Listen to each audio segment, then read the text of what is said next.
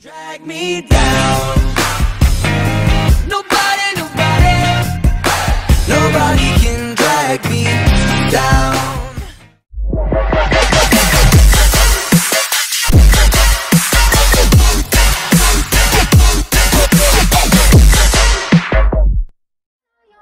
At the Gucci store. Gucci store. Duck, duck, duck.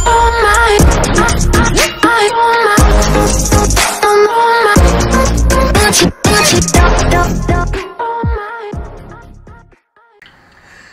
and welcome to Snazzy Variety 90. I'm Snazzy and this is Snazzy Shout Out Show, where today I'm going to be talking about the one and only JD Casey and also Empey 8 family.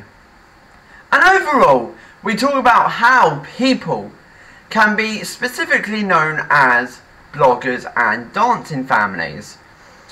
And when you look at it in that kind of theory and that concept, it can be not obviously frightened or scared or worried, but you think about how people can make the happiness of others when it comes to dancing and video blogging.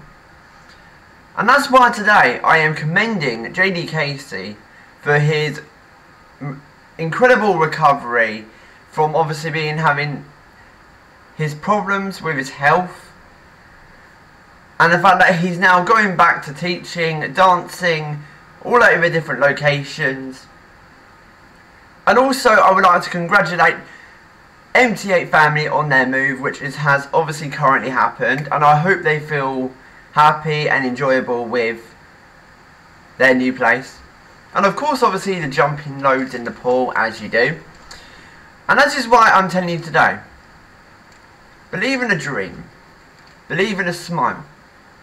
Believe in the happiness of others. Believe in the knowing that you can be able to make the possibility to be made possible. And when things don't go so right, don't shut away. Get the help you need. The support of family, the support of friends, the support of loved ones will always be needed. And that is what I'm telling you today, and I will tell you any day of the week.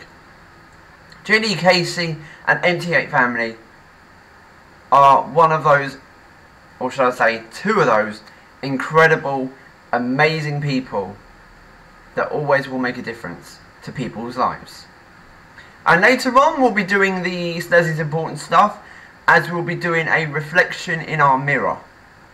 So that is it for today's episode. We'll be back next time where there'll be more shout out concepts. Until next time, this is me, Snazzy, giving the flip of shout outs. Signing off. Goodbye for now. Ting ting. Peace out.